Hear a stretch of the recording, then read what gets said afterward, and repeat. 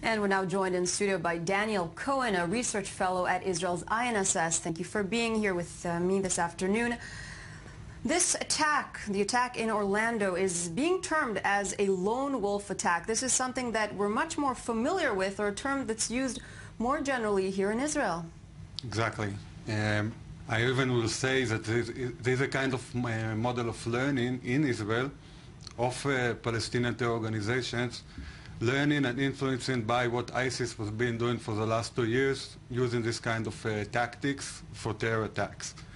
It means that there is an incitement online 24-7, fueling and uh, poisoning the minds and hearts of people that are in this case fanboys of the Islamic State, to go out and do this kind of attack when they don't have, need any of intelligence and any organization behind it. So the definition of lone wolf attacks actually lies on inspiration, probably, that happens online. You're also an, an expert on uh, uh, social networks.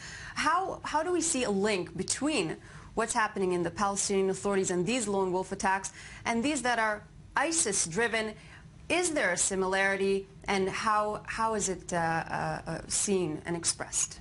Give the example of the two common dominators doing the attacks by these ISIS lone wolf attackers for the last uh, two years.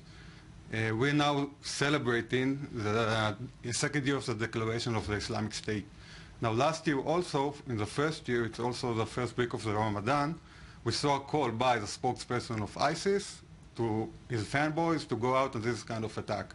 Now it, go, it goes viral to people that already are influenced by video, beheading videos, but other videos also, the tweet, the journal of uh, the Islamic State. And when they, uh, after they're like seeing it again and again and again and repeatedly, it like affects their mind and then they go out like... Uh, in a different mental state. Because we're seeing these lone wolf attacks, as they're called, throughout the world. Even in uh, uh, the blast that took place in Beirut yesterday, there is a, a suspected, uh, uh, uh, they are suspecting that it was a lone wolf attack, which means they were inspired online. And another phenomena we're seeing worldwide, I would say, is parents that are very much surprised or shocked at the actions of their own children. So could it be that because these messages are in fact going over online and, and going viral and inspiring or affecting the users themselves that there wouldn't necessarily be uh, an expression in their day-to-day -day life? Exactly, and parents really don't know what's happening with the kids when they're in the room and they... That there wouldn't necessarily be uh, an expression in their day-to-day -day life. Exactly, and parents really don't know what's happening with the kids when they're in the room and they like watching uh, videos on the computers. There's one famous attack, uh, the Axeman in New York subway, that went into his room for two days, saw 278 videos of ISIS, same time there was a call to go out and do this kind of attack, like in the Dawn of the Dead. He took an axe, went into the subway and attacked police officers. Now his father said he didn't want to eat, didn't want to drink. He was just like sitting in his room and watching videos. He didn't know what's going on there. And I have to ask you, are some of these games being banned? I mean, is, is there any legislation? Because we know, especially in Israel, the, the challenge and the difficulty of the security for, uh, services to tackle these sort of attacks. So what sort of action can be taken and is any action being taken against this specific form of attack? First of all, there is a huge debate now between the Silicon Valley and security forces like the FBI about privacy and anonymity. What, where you can like hack into, what you can monitor, and when the company sees something, how they can like report it to the FBI, for example, or to the NSA, or in our case, to the security forces in Israel.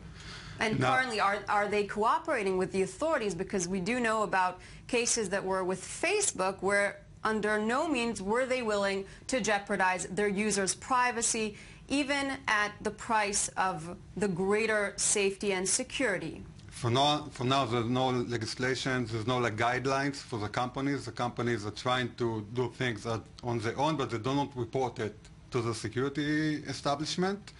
In Israel, it's even a harder challenge because in most cases it, it's happening in the Palestinian territories and not inside Israel. So it's even harder. But we see uh, new technologies embraced by uh, security establishment together sometimes with uh, outsourcing for private companies. I'll give you one example, uh, monitoring of uh, sentiments online on Facebook, for example, looking for keywords, then doing this analyzation to big data tools, and uh, creating like a list of people that are potentially go out and do this kind of attacks. So there is like a, we see it is still a, big, big challenge, but we see like a progress in technology. There's progress. And what do you think the U.S. can take from Israel in this regard?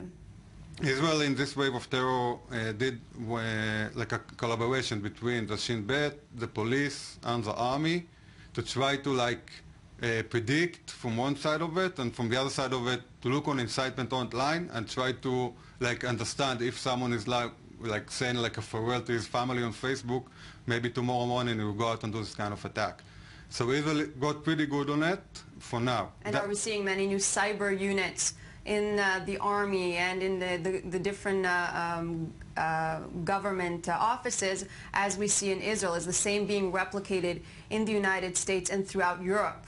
We see now in uh, the US, US uh, Cyber Command started to use cyber bombs, as they say, against ISIS, also against recruitment uh, to ISIS, uh, attacks on servers and on uh, sites that can, like, again, influence uh, people to go out and commit this kind of attack.